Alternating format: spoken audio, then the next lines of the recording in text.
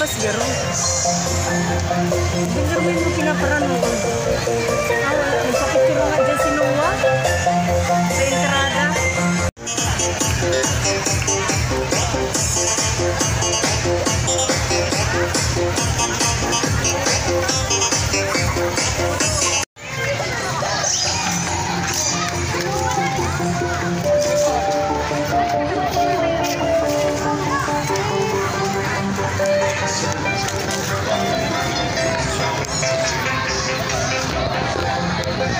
Thank you.